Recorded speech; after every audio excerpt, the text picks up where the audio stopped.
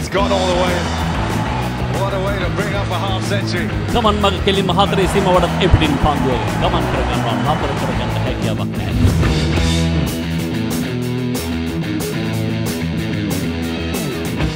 අයිබුවන් පියමිතුරනි අපි පිටිය කතාවත ඔබ කැදවාගෙනන්න සූදානමිනන්න.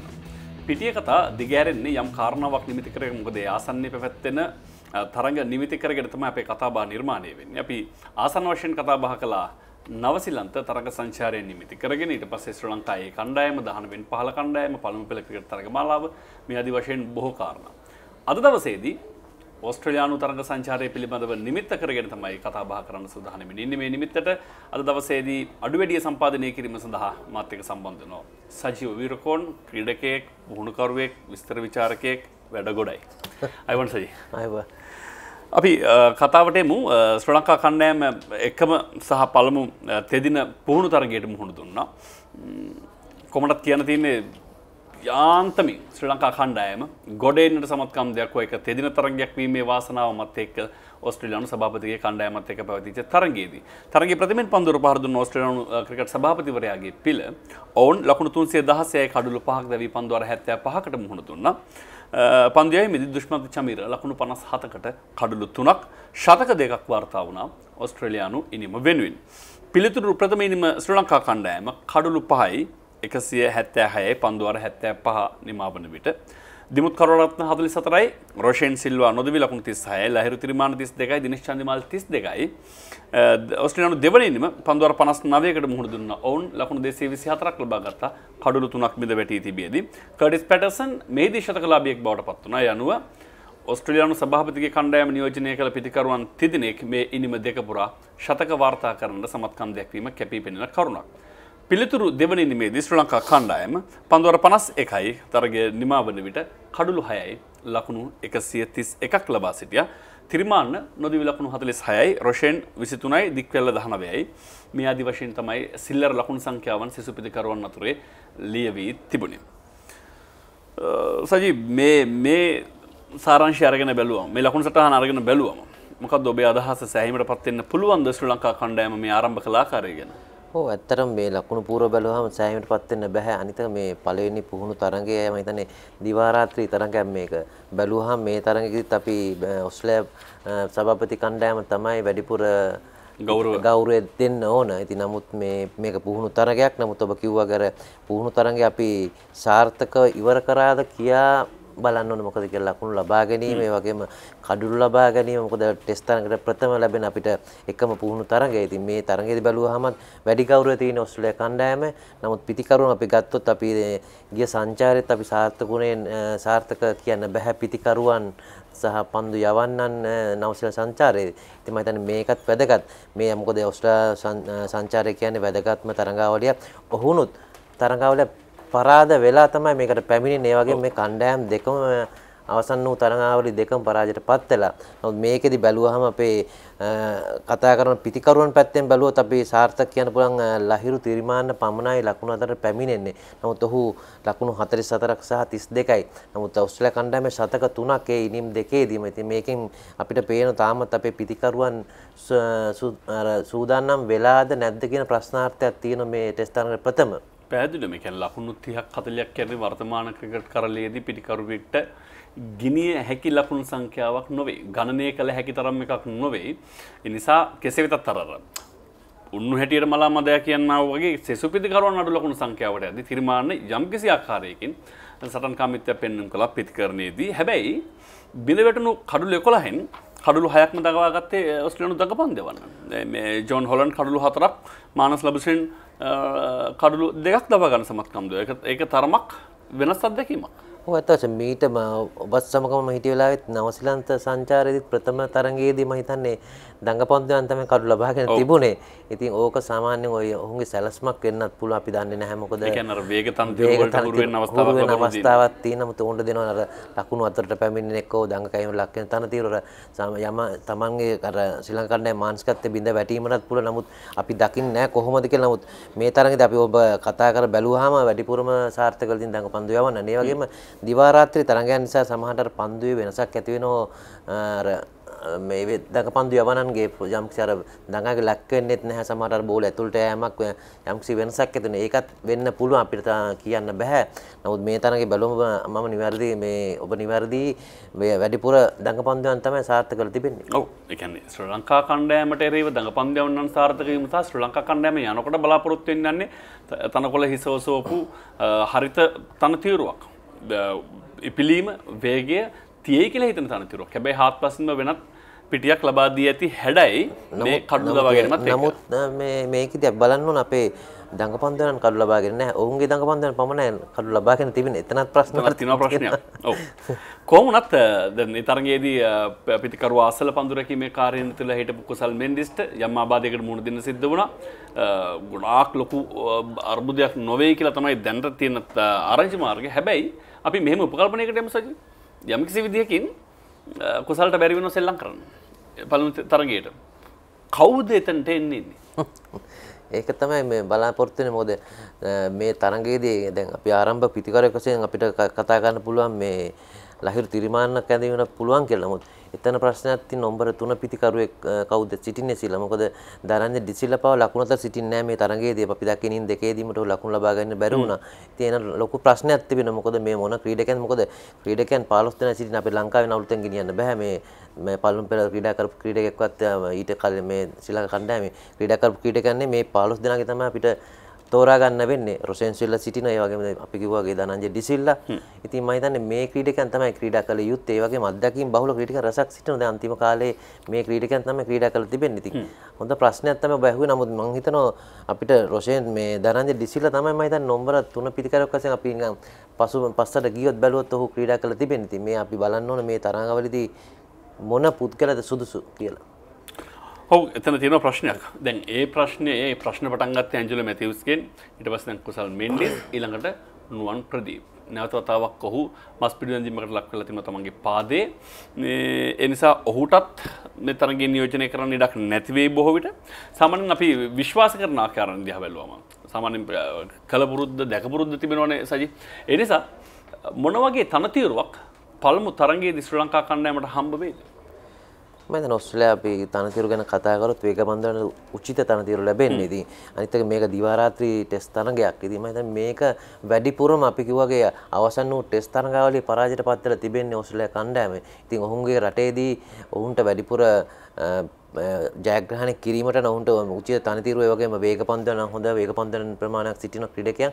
ඉතින් මම හිතනවා වැඩිපුර ඔවුන්ට වාසි වෙන තත්ත්වයක් උදා වෙන තත්ත්ව තියෙන වේග පන්දන තනතිරු. ඉතින් මම හිතන්නේ මේක ලබා දෙයි. මොකද අපි දකින්න ශ්‍රී ලංකා කණ්ඩායම නවසීලන්තයේ පවා ලේසියෙන් වේග පන්දන ක්‍රීඩා කරේ නැහැ. මේ ඒ ඒ වාසිය ලබාගෙන ඔවුන්ගේ පැත්තට ලබා ගනි කියලා කියන වේග පන්දු උචිත තනතුර ලබදේ කොමටත් ඔවුන්ගේ දඟ පන්දු කරන්නේ ප්‍රමුඛ මේ වෙදි නේදන ලයන් පමණයි. ඔහුතම විශ්වාසය තැබෑ තැබිය හැකි එකම දඟ පන්දයවන්න නමුත් වේග පන්දයවන්නන් ඔස්ට්‍රලවට ඒක කිසිම අඩුවක් නැහැ. ඒ නිසා ඔවුන් තමන්ගේ සුපුරුදු රිත්නයට ගමන් කරාවිකන විශ්වාසය තින සහ ඔවුන් දන්නවා ශ්‍ර ලංකා පිතිකරුවන් වේග පන්දයවන්නට මුහුණදීමේදී දඟ පන්දයවන්නන්ට වඩා තාමත් අඩියක් පිටි පස්සෙන් ඉන්න කියලා. පළමු ටෙස්තරන්ගේට ශ්‍රලංක කණ්ඩෑම කොහොමද මුහුණ දෙන්න ඕනේ මොකක්ද යනකොට හිතට දාගන්නද අපිදම බොහෝ බොහෝ අතපස්වීම් තියනවා. අපිදම ක්‍රීඩකින් කණ්ඩෑමක් හැට පිටියට අනකොට මොකක් දෝන් ගොලු තියනු මූලිකම කාරණවසජ. මේ පන්දුර පහර දෙද්දිනම් අනිවාර්යයෙන්ම මම දිනේශ් චන්දිමල් පැවසුවා ඉන්දියා කණ්ඩායම ජයග්‍රහණය කරේ ලකුණු 300ක් 350ක් 400ක් ලබා ගත්තට පසුව තමයි උන්ට ජයග්‍රහණය කළ කළ හැක්කේ. ඉතින් මම හිතන්නේ මේ කරුණ කළ මේ කරුණ තමයි විය යුත්තේ. ඕනම ටෙස්ට් තරඟයක් ඒවා ක්‍රීඩා සමාජ ඕනම ක්‍රීඩා තරඟයකදී ලකුණු 300ක් 350 කර කියන ස්කෝර් බෝඩ් දැම්මට පස්සේ හරි ලේසි පන්දු යවන්නට. ඒ වගේම අනිත් කණ්ඩායම පිටිකරන යෙදෙදි යම්කිසි තර්ජනයක් ඇති වෙනවා. අර 300 350 400ක් කියන්නේ ලේසි නැහැ. ඔවුන්ගේ මුල් පෙළ පිටිකරුවන් දවා ගත්තොත් වාසියක් ලබා ගන්න පුළුවන් ශ්‍රී ලංකා කන්න. ඒ නිසා අනිවාර්යයෙන්ම එක ක්‍රීඩකයේ 350 ලබා ගන්න කොහොමද කියලා අපි සැලසුම් කරන්න ඕන. ක්‍රීඩකයේ ආරම්භ පිටුරන් කොහොමද ක්‍රීඩා කරන්නේ? මැද පෙළ පිටුරන් කොහොමද ක්‍රීඩා කරන්නේ? අවසාන වෙනකන් කවුද ක්‍රීඩා කරන්නේ? මම හිතන්නේ මේ මේ වගේ සැලසුමක් ඇති කර යුතුයි. අනිවාර්යයෙන් ඒ වගේම පිතිකරුවන් මුල් පෙළ පිතිකරුවන් පස් දෙනා අතර ලකුණු එක ක්‍රීඩකෙක් ලකුණු 100ක් හෝ 150ක් ලබා ගත යුතුයි. ඔහු වටා ක්‍රීඩා කරොත් තමයි ලකුණු 350ක් 400ක් ලබා ගන්න පුළුවන් වෙන්නේ. හිතන්නේ මේ දේ කළ යුතුයි මේ වගේ සැලස්මක්. ඒ කියන්නේ ශ්‍රී ලංකා කන්නයම් වේලපයින් පිටපත හදාගන්න ඕනේ කවුද මේ චිත්‍රපටයේ ප්‍රධාන චරිත රඟපාන්නේ? කවුද සහය නළුවට ඉන්නේ? මේ- මේ මේ කාරණා ඒ ඒ අයට එයගේ රෝල් එක නැත්තම් ඔවුන්ගේ කාර්යභාරය හඳුනා දිය යුතුයි ඔබේ කාර්යභාරය මෙයයි කියන දේ. එහෙම වුණොත් ලකුණු තුන්සිය පණහට එහා ගියොත් ශ්‍රී ලංකා කණ්ඩායමට එතන තියෙනවා යම් මානසික ජයග්‍රහණයක් ඒ ඇති එකන මානසිකව ජයග්‍රහණය කළ පටන් ගත්තම බෞතික ජයග්‍රහණය කිරීමේ තරම් ප්‍රශ්නයක් නෙවෙයි. කොහොමනත් මෙතෙක් මෙතෙක් පැවති දිවරාත්‍රී ටෙස්ට් ක්‍රිකට් තරග ඉතිහාසයේ ඒවා ජයග්‍රහණය කර තිබෙන රටවල් දෙකක් පමණයි. ඒ මේ ඉදිරි තරගයට මුහුණ දෙන කණ්ඩායම් දෙක. ශ්‍රී ලංකාවත් ඔස්ට්‍රේලියාවත් බලමු. අයර්ලන්තේ කණ්ඩෑම ශ්‍රී ලංකාවේ තරග සංචාරය කියලනවා ඔවුන් තරග පහකින් සමන්ත එක්දින තරග මාලාවට මුහුණ දෙමින්වා දෙවන තරගත් නිමාවදුට ශ්‍රී ලංකා කණ්ඩෑම දෙකට පින්දුවක් හැටියට ඉදිරියෙන් ඉන්න ප්‍රථම තරගේ ශ්‍රී ලංකා කණ්ඩෑම ලකුණු හැටකින් ජයග්‍රහණය කරන සමත්කම් දක්වා දෙවන නිලනවන එක්දින තරගේ දී ලකුණු එකසේ හැත්තෑ පහක එක දැවන්ත ලොකු පරතරයක් සහිත ජයග්‍රහණයක්. මොකද උපුල් තරග ලකුණ එකසේ තුනක් කමිදු මෙන්ඩිස් හැත්තෑ හයක් පන්දු පනහකදේ එය වාර්තා කරන්නේ. ඇංචලෝ පෙරේර ආවිශ්ක ප්‍රනාාන්දු ආදී ක්‍රඩිකෙන් දැක්වූ දක්ෂතා නිසා පන්දුවමේද මිලින්ද සිරිවර්ධන දක්වූ දක්ෂතා මේ සියල්ලත් එක ශ්‍රී ලංකා කන්නෑම දෙකට බිඳුවයි. ඉතිරි තරඟ තුනම කොළඹදී පවත්වන්නට නියමිතව තිබෙනවා තරගමාලාව. නිල නොවන එක්දින තරඟ පහකින් සමන්විතයි. දෙකක් මේ වන විට නිමාව දැක තිබෙනවා. සජී නිමවදුට ICC සම්මාන උලෙල මහිතන්නේ සම්මාන මල්ලම අතිත් අරගෙන අනිත් අතෙත් අරගෙන කිහිලිත් ගාගෙනන්න තරම් විරත් කෝලි වර්තාපොත්ත අලුත් කරන සමත්කම් දැක්වා වසරේ ටෙස්ටුවට ක්‍රඩකයා වසර එක්දින ක්‍රඩකයා වසර ICC ක්‍රිකට් ක්‍රඩකයා එසිල්ල හුට එතකම නැගියන ක්‍රඩකයා ඉන්දියාවෙන් තාම වතා විදිාව හැබ ඒගරන සමහරුට පොඩි පොඩි නිකන් පොඩි කතාටිකුත් තියෙනවා ඒකට ඔහු තාම එකයි දෙකයි කළේ. නැගීයනවා කියලා ලොකු බරක් ඔහුට දෙන්න පුළුවන්ද කියලා. හැම අවස්ථාවම ඉතින් ඔය ඉන්දියාව පැත්තට වැඩිපුර ඔබ කිව්වා කියන කියන එක දැන් ඉන්දියා ක්‍රීඩකයන් වැඩිපුර අවස්ථා දෙනවා වගේ එකකින් පේන අපිට. බික් ත්‍රී තාමත් එහෙමමයි. එත් එක්කම ශ්‍රී ලංකා කණ්ඩායමට තියෙන්නේ එකම එක දෙයයි. එතමයි ICC ටෙස්ට් කණ්ඩෑම නම් කලා එහි ආරම්භක පිතිකරුව හැටියට දිමුත් කරුණරත්නට ඉඩ කඩ ලැබී තියෙනවා. ඒ කණ්ඩායමේ නායකයත් විරාත් කෝලි මහිතන්නේ ඒකනම් දෙගිඩියාවක් නෑ ඔහු ඔහු තරම් මේ මෑතකාලීනව දැන් ශතක හැට හතරයි තමත් මේ හාදය ලාබාල වයේ ඔහු තවටික කාලයක් හිටියොත් සතින් තෙන්ඩුල්කා සුනිල් ගවස්කා වාර්තා පොත්තුල පසුපිටුවලට යනවා ඔහු අනිවාරෙන්ම ඉස්සරහා හිමි කරගන්න. අනිත් වැදගත්නදේ ශ්‍ර ලංකා කණ්ඩෑමේ කුමාරධර්ම සේන. ඔහු ඔහු වාර්තාපත අලුත් කරන දැන් අනිත් පැත්තෙන්. එකක් තමයි ලෝකසල අවසන් මහතරගයක් නියෝජනය ක්‍රඩක හැඩි නියෝජනය කල සහ විනිසුරුවරය හැටි නියෝජනය කළ පළම ක්‍රඩක එත්තකම ශ්‍ර ලංකාව වෙනුවෙන් දෙවනවතාවටත් ඔහුට හැකියාව ලැබෙනවා. ලොව හොඳම විනිස්තුරුවරයා කියෙන සම්මානය හිමි කරගන්න. විනිසුරුවර අති ඕන තරම් වැරදි වෙනවා. නමුත් අඩුවෙන්න්න වැරදි කළ තරඟ විනිසුරුවරය මරධර්ම සෙන දස් දොළහයිද මිට පෙරාතු මේව තමයි ශ්‍ර ලංකාවට ඔක්කො සියල්ල නැතිවෙද්දි. මුළු කන්දම නාය අද්දි පිදුරගහක් වගේ එල්ලෙන් තියෙන එකම කරන දෙක හැබැයි මේක පිදුරගහක් නෙමෙයි මේක ලොකු වැඩක්. මේ ධර්මසේන ගැන මොනවද කියන්නේ තියෙන්නේ? ඔය ඇත්ත වශයෙන්ම මොකද ධර්මසේන කියන්නේ මාත් එක්ක ක්‍රීඩා කරලා තිබෙනවා. මාත් එක්ක කම්පැනි ගැන මේ මර්කන්ටයිල් ක්‍රීඩා කරලා තිනවා. ඉතින් ඔහු ගැන කතා කරොත් අර ශ්‍රී ලංකා කණ්ඩායම නියෝජනය කරද්දිත් ඔහු ගැන කතා කර අපි අර ඔහුට කිව්ව උනන්දුව උනන්දුව කියලා තිබුණා. මම හිතන්නේ ඒ කාලෙදිම ඔහුගේ දැක්ක අපි කියන්නේ යම් කිසි දෙයකට යනවනම් අර කැප කැපකිරීම හිතන්නේ ඒ කැපකිරීම නිසා තමයි මේ තත්ත්වය උදා වෙලා තියෙන්නේ. මොකද ඔහු ක්‍රීඩා කළා ශ්‍රී ලංකා කණ්ඩායමේ ලෝකුසන්නේ කණ්ඩායමේ සිටිය ක්‍රීඩකයෙක්. ඒ වගේම ඊට පසුව ඔය විනිසුරු වරණ පැමිණ ඔහු ක්‍රීඩා සමාජ තරඟ සහ ඊට පස්සේ ICCට ගිහිල්ලා අවුරුදු දෙකක් ඔහු හොඳම විනිසුරා වෙන්න කොයි වගේ කැපකිරීමක්ද කරලා තියෙන කියලා මම හිතන්නේ බලා බලා ගන්නවා. මම හිතන්නේ මේකත් හොඳ දෙයක් අපි අර කියන්නේ විනිසුරන් පැත්තෙන් යාගේ අත්දැකීම් ගත්තොත් ක්‍රීඩකෙක් වශයෙන් උත් ඕන දෙයක් ලබා ගන්න පුළුවන් ඇත්තගේ මොකද මම හිතන්නේ එයා කැපකිරීම අපි අගය කළ යුතුයි. මොකද ඔහු ගැන කතා කරත් ඔහුත් එක්ක කතා කරත් ඔහු සිට හැමතිස්සෙම කතා කරන්නේ ඉදිරියේ මම මොකද්ද කරන්නේ? එතනට කොහොමද මම යන්නේ? මොන වගේ දේවල්ද මම මේ කේවල් හදා ගන්න ඕන ඉතින් මම හිතන්නේ මේ කැපකිරීම අනිවාර්ය ක්‍රීඩකයෙක්ට මම කියන්නේ අනිවාර්යයෙන්ම අපේ තරුණ ක්‍රීඩකයෙක්ට කිය යුතුයි. කැපකිරීම අවශ්‍යයි Tamante යම් කිසි ඉලක්කයකට ළඟා වීමට. මම හොඳම උදාහරණය කුමාර ධර්මසේන අර ඉඩන් ගාර්ඩන් හිදී අනුහයේ අර්දවස අවසන් පුර වටේ තරගේදී ලක්ෂගානක ඉන්දයානුවන් එක් ඔහු මේ කෙසක සිරුරක් හිමි ක්‍රඩක හතරේසීම අභ්‍යස බොහම අභීත විදිරට ඒ තරමට කැපවීම කැපවීම අංක එක. එනිසා තමයි ධර්මසේන අංක එකේ විනිස්තුරුවරයා. ස්ටූබක්න අලිම්ඩා ඩේවිඩ් ෂෙපර්ඩ් ඒ පරම්පරාවේ අ, වර්තමාන නියෝජනයේ ශ්‍රී ලංකාවට හිමි. අ, ශ්‍රී ලංකා පළමු පෙළ ක්‍රිකට් තරගමාලාව මේ දවස්වල අ, ක්‍රියාත්මක කරමින් පවතිනවා. ඒ කාණ්ඩයේ සහ බී කාණ්ඩයේ යටතේ තරග ක්‍රියාත්මකයි. ඒ කාණ්ඩයේ දැන් අ, CCC කණ්ඩායම අ, මේ වනට ඉදිරියෙන් ඉන්නවා. කාලෙකට පස්සේ මේ CCC කණ්ඩායම අ, ලකුණු සටහනක මෙවැනි පරිවර්තනයක් සිද්ධ කළේ. ඊට පස්සේ ටැමිල් යුනියන් කණ්ඩායම් ඊට පස්සේ NCC SSC Colts Saracens Halawatha Marians කණ්ඩායම්. දැන් සම්පූර්ණයෙන්ම නොපිට පෙරලී තිබෙනවා. චිලෝමේරියන්ස් මීට කාලයකට කලින් හිටියේ හිනි පෙත්තේ දැන් ආපහු ඔවුන් ඔවුන් අනිත් පැත්තට එල්ල තිනවා.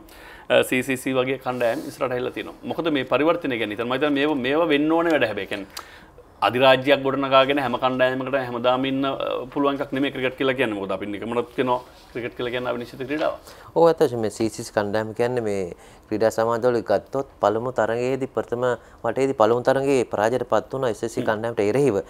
ඒ පරාජයට පත්වීම පසුව තමයි මේ පැමිණීම ලැබිලා තියෙන්නේ. ඉතින් කොහොමද මම හිතනවා ඔව් ක්‍රීඩකයන් සහ පුහුණුකරුවන් කොහොමද ඔවුන්ගේ මානසිකත්වය හදාගෙන මේ තක්කා අයිලා තියෙන මොකද අව තරඟ තුනකට තුනක් ප්‍රමාණ අවුට්ටයි දිනලා තියෙනවා මම හිතන්නේ. ඒ දිනලා සුපර් හිට් වටේට ඇවිල්ලා පළවෙනි තරගේ ජයග්‍රහණය කරා. ඉතින් බලොත් අනිත් තරඟ කණ්ඩායමත් එක්ක බැලුවාම ඔහු ඉදිරියෙන් සිටිනවා කියන්නේ ලේසි නැහැ. ඉතින් මොකද SSC, Tamil Union, NCC වැනි ක්‍රීඩකයන් ප්‍රබල ක්‍රීඩකයන් රසක් සිටින කණ්ඩායම අභිභායල තියෙන CCC කණ්ඩායම හිතන්නේ.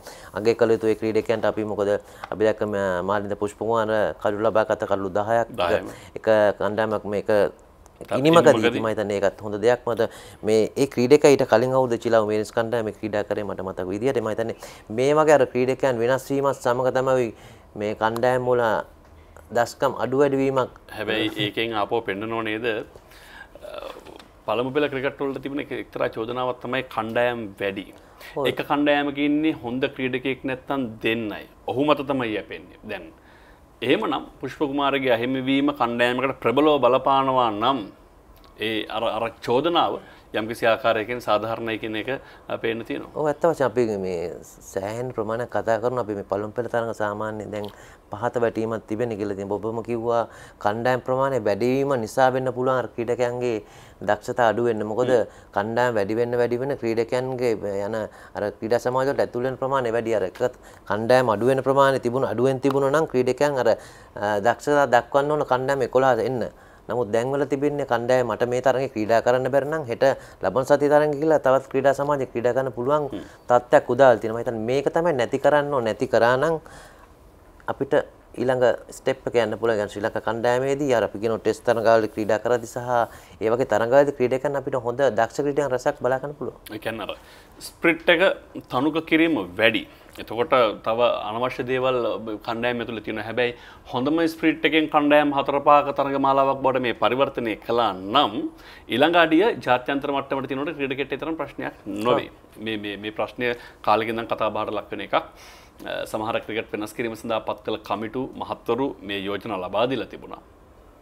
ක්‍රියාත්මක කරන අය තමයි ඊළඟ ප්‍රශ්නාර්ථය. ඒත් එක්කම B කාණ්ඩේ BRC කණ්ඩායම ඔවුන් පෙරමුණ අරගෙන ඉන්නවා බදුරුලිය මුවස් අ, ශ්‍රී ලංකා වරාය අධිකාරිය ඒත් එක්කම අ, නිගම්බු ක්‍රිකට් ක්ලබ් සහ රාගම ක්‍රිකට් ක්ලබ් තමයි ඊට පස්සේ මේ පෙළ ගැස්මේ ඉන්නේ. අපි ඉදිරියේදී වෙලාවක් හමුනොත් මේවා ගැන ටිකක් වෙනම කතා බහක් කරමු. අ, අපි ගිය සතියේ ඔබෙන් ප්‍රශ්නයක් ඇහුවා. ඒ තමයි අ, 1985 දී. ඔව් 1985 දී පළමුවරට ඔස්ට්‍රේලියානු වයස අවුරුදු 19 වෙනි පහළ ක්‍රිකට් කණ්ඩායමක් පරාජයට පත් කළ ශ්‍රී ලංකා වයස අවුරුදු 19 වෙනි පහළ කණ්ඩායම.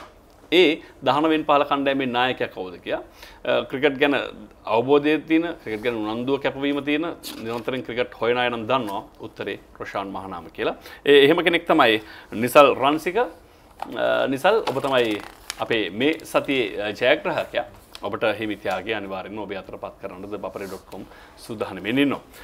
එතකොට මේ සතියේ ප්‍රශ්නේ මෙතෙක් පැවැත්වුණු දිවරාත්‍රී ටෙස්ට් ක්‍රිකට් තරගයකදී ශ්‍රී ලංකාව වෙනුවෙන් කඩුළු පහක් දවාගෙන ඇති එකම පන්දවන්නා කවුරු. ගොඩක් නෑ වනන් ඕන්ලි. දැනට.